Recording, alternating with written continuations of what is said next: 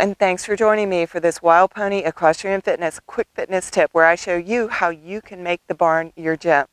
Today I'm going to be focusing on a variation on squats that is excellent for your balance, your core strength, and your leg strength. So I think this is a wonderful exercise for riders of any level to go ahead and give a go. We're going to start in a regular squatting position.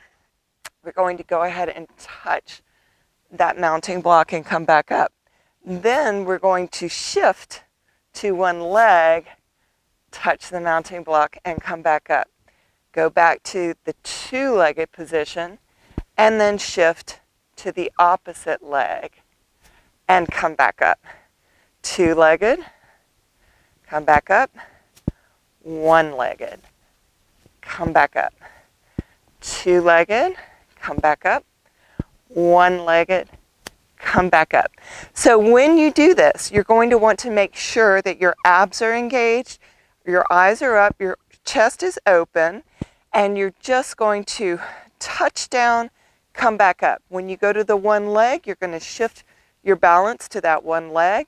Really, really engage your abs more than ever because now you've really got to use them to help you balance. And then just touch down, come back up, go back to the two-legged, and then the one-legged. And then after you do a set of those, you could do uh, maybe a total of anywhere from six to 30 of those. You might then go just straight to a one-legged where you're just going to repeat on that same leg. So you might do this 10 to 20 times on that leg and then come to the opposite leg same exact exercise, 10 to 20 times on that leg. Make sure I touch all the way down.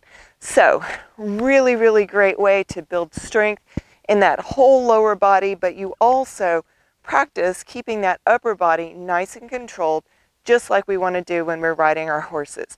So I hope this was helpful. Please let me know if you have any questions or comments below, and I look forward to seeing you next time. Thank you so much for watching. Oi?